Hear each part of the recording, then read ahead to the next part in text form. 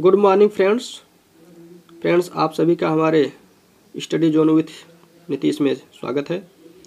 Friends आज अपने हम इस वीडियो में कॉन्स्टिट्यूशन पे चर्चा करेंगे। जैसा कि संविधान क्या है या संवैधानिक विधि और संविधानवाद।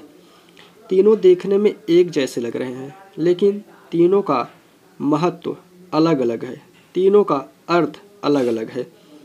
फ्रेंड्स अगर आप हमारे चैनल पे नए आए हैं या पहली बार आए हैं तो आप हमारे चैनल को सब्सक्राइब कर दें। जैसे ही आप सब्सक्राइब करोगे, आपको एक बेल आइकन दिखेगा। आप बेल आइकन पे क्लिक करके हमारे चैनल से सारे नोटिफिकेशन आसानी से प्राप्त कर सकते हो। तो फ्रेंड्स आइए देखते हैं पहले संविधान क्या है। फ्रेंड्स संविधान एक दस्तावेज़ होता है।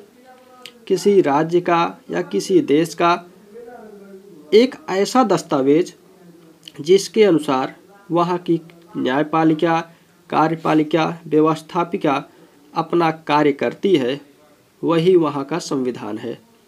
फ्रेंड्स, अगर हम देखेंगे तो कहा जा रहा है कि किसी देश का संविधान, उसकी राजनीतिक व्यवस्था का वह ढांचा है या बुनियादी ढांचा निर्धारित करता है।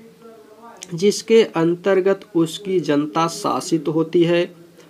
यह राज्य की विधायिका, कार्यपालिका और न्यायपालिका जैसे प्रमुख अंगों की स्थापना करता है।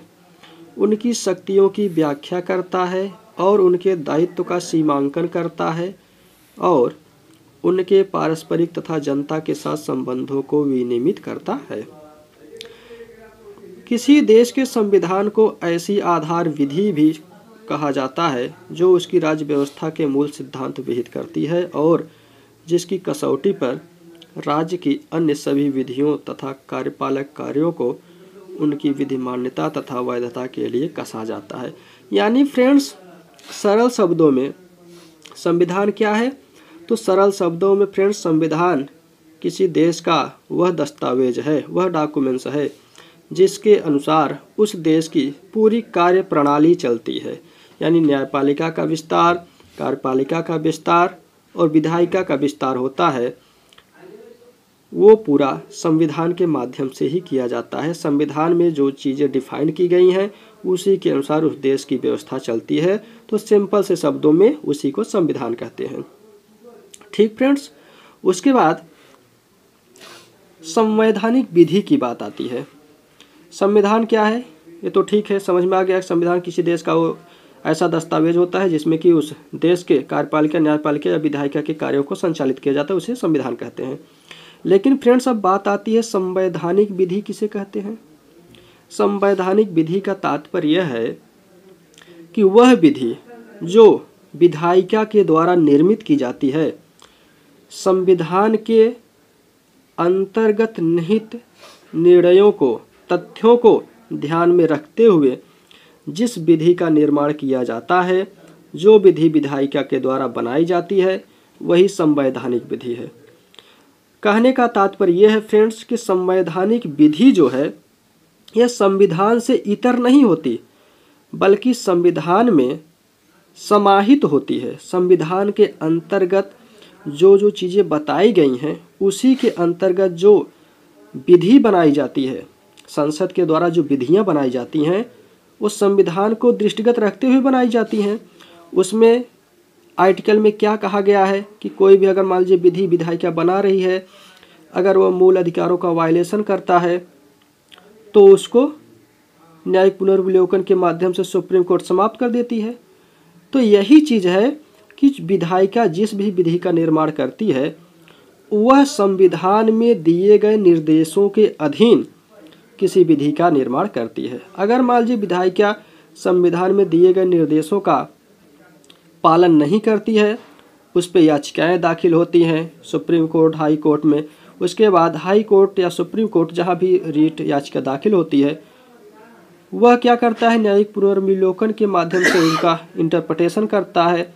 उसके बाद कॉन्स्टिट्यूशन से मैचिंग कराता है, जहाँ पे अगर कुछ चीज़ें जो विधायिका ने विधि बनाई है, उसमें कॉन्स्टिट्यूशन का वायलेशन कर रही हैं, उसका अतिक्रमण कर रही हैं तो सुप्रीम कोर्ट क्या करता है? या हाई कोर्ट क्या करता है? उसे निगलेक्ट कर देता है। तो विधायिका के द्वारा जो भी विधियाँ बनाई जाती हैं कॉन्स्टिट्यूशन में ध्यान कॉन्स्टिट्यूशन को ध्यान में रखते हुए, वही संवैधानिक विधि होती है। संवैधानिक विधि के अंतर्गत फ्रेंड्स जैसे सुप्रीम कोर्ट या हाई कोर्ट्स के जो जजमेंट्स आते हैं लेटेस्ट जजमेंट और जो भूतलक्षी जजमेंट्स आते हैं वो भी संवैधानिक विधि के अंतर्गत इंक्लूड कर लिए जाते हैं। और जो रूढ़ियाँ, प्रथाएँ आ रही हैं, वो भी संवैधानिक विधि के अंतर्गत इंक्लूड कर ली जाती हैं। अब फ्रेंड्स संविधान क्या है? संवैधानिक विधि क्या है? हो गया। उसके बाद देखते हैं संविधानवाद क्या है। अब फ्रेंड्स संविधानवाद की बात आता है। तो संविधानवाद का तात्पर्य यह है फ्रेंड्स कि किसी भी देश का अपना प्रशासन चलाने के लिए कोई ना कोई तरीका अवश्य सभी देशों ने बना रखा है। तो इसमें सबसे ज़्यादा महत्वपूर्ण संविधान है। कई देशों ने अपने देश की शासन व्यवस्था चलाने के लिए संविधान का निर्माण किया है। तो फ्रेंड्स, जो संविधानवाद होता है, यानी ये संविधानवाद संविधानवाद का तात्पर्य यह है कि उस देश की राज्य व्यवस्था, चाहे कार्यपालिका हो, चाहे न्यायपालिका हो, चाहे विधायिका हो वह संविधान में दिए गए निर्देशों के अधीन, संविधान में बताए गए कर्तव्यों के अनुसार अगर संचालित की जा रही है। उनमें जो जो व्यवस्थाएँ दी गई हैं संविधान में, क्योंकि कॉन्स्टिट्यूशन क्या है? किसी भी देश का सर्वोच्च स्थान प्राप्त है संविधान को। यानी किसी भी देश में अगर पूछा जाए सर्वोच्च क्या है या अपने ही देश में सर्वोच्च क्या है तो सबसे सर्वोच्च भारत का कॉन्स्टिट्यूशन है। क्योंकि कॉन्स्टिट्यूशन में सारी चीज़ें डिस्क्राइब कर दी गई हैं। उसी के अनुसार हमारी कार्यपालिका चलती है, विधायिका चलती है, न्यायपालिका चलती है, और उसके छोटे, निचले स्तरों पे जो भी चीज़ें बनाई गई हैं, सब संविधान के अधीन ही चलती हैं। तो फ्रेंड्स राज्य व्यवस्था का जो संचालन की विधि है उस संविधान के अनुसार ही चलाई जाती है। उसी को संविधानवाद कहा जाता है। यानी जो शासन प्रणाली संविधान के अनुसार चलती है, वही क्या है? सरल शब्दों में संविधानवाद। आप आसानी से अपने लैंग्वेज में, हमारे लैंग्वेज में आप आसानी से जान सकते हो कि संविधानवाद वही है जहाँ की सरकार संविधान में दिए गए कर्तव्यों के अनुसार अपनी राज्य व्यवस्था को संचालित करती है। या अपने देश की व्यवस्था को, चाहे विधायी पालिका, चाहे कार्यपालिका हो, चाहे विधायिका हो, चाहे न्यायपालिका हो, का संचालन करती है, वही क्या है? वही संविधानवाद है। तो फ्रेंड्स, अपने हम इस वीडियो में संविधान क्या है संविधान संवैधानिक विधि की क्या है और संविधानवाद क्या, इन तीनों पे चर्चा किए। जैसा कि आपको एक बार रिपीट फिर कर देते हैं हम कि संविधान क्या है? संविधान किसी देश का दस्तावेज़ होता है जिसके अनुसार वहाँ की मोटे शब्दों में डिस्क्राइब करें फ्रेंड्स ज़्यादा डीपली नहीं जाएँगे, क्योंकि वीडियो ज़्यादा लंबा हो जाएगा। तो किसी देश का ऐसा दस्तावेज़ होता है जिसके अनुसार वहाँ की कार्यपालिका, न्यायपालिका, विधायिका और जितने भी निकाय हैं, सब संविधान के में दिए गए हैं और संविधान इन चीज़ों की व्याख्या करता है। कि वहाँ का शासन व्यवस्था कैसे चलाया जाए। वो क्या है? संविधान। संविधान में सारी चीज़ें व्यवस्थित की गई सारी चीज़ों को लिख दिया गया सारी चीज़ों को बता दिया गया है कि कौन सी चीज़ें किस प्रकार से डिफाइन की गई यानी वहाँ का शासन किस प्रकार से चलाया जाएगा। जैसे न्यायपालिका है? तो न्यायपालिका किस प्रकार से रहेगी? वहाँ पे न्यायाधीश की नियुक्ति कैसे की जाएगी? उसका वेतन क्या होगा? कौन निर्धारित करेगा? संसद कैसी होगी? कितने सदन होंगे? ये सब चीज़ें हमारी संविधान में बताई गई हैं। ठीक? उसके बाद फ्रेंड्स, संवैधानिक विधि।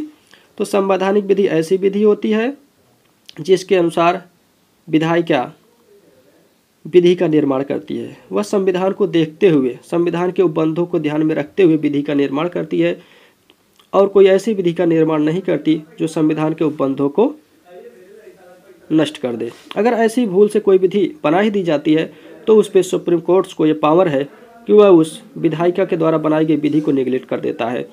उसके बाद फ्रेंड्स, संविधानवाद। संविधानवाद वह है जहाँ की शासन व्यवस्था, जहाँ की राज्य व्यवस्था संविधान में दिए गए निर्देशों के अनुसार चलाई जाती है, उसे संविधानवाद कहते हैं। तो फ्रेंड्स, आज के हमारे इस वीडियो में बस इतना ही।